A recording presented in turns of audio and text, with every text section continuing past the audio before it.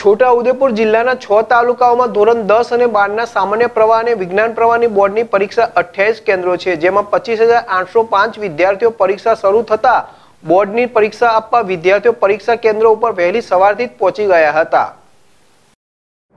આજથી ધોરણ દસ અને બાર ધોરણ બોર્ડની પરીક્ષાઓ શરૂ થઈ રહી છે.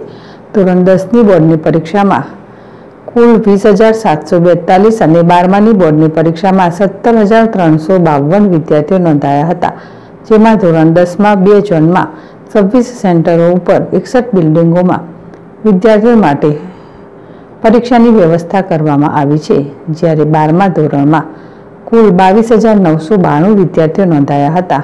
બારમા ધોરણની સામાન્ય પ્રવાહની પરીક્ષા જિલ્લામાં સત્તર કેન્દ્રોમાં ચોત્રીસ બિલ્ડિંગો અને વિજ્ઞાન પ્રવાહના ચાર કેન્દ્રો પર ઓગણીસ બિલ્ડિંગોમાં વ્યવસ્થા કરવામાં આવી હતી. સાથે જ જિલ્લા શિક્ષણ વિભાગે ગેરરીતિ પકડવા માટે સીસીટીવી કેમેરાની વ્યવસ્થા પણ કરવામાં આવી છે.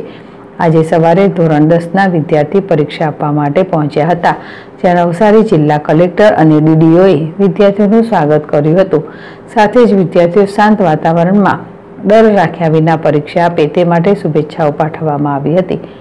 સાથે જ વિદ્યાર્થીઓની પરીક્ષા સારી જાય, ન જાય તો ચિંતા કરવાની જરૂરી નથી. આ અંતિમ પરીક્ષા નથી તેમ જિલ્લા શિક્ષણ અધિકારીએ જણાવ્યું હતું. અલ્પેશ કશ્યપ જેડેશ ટીવી નવસારી.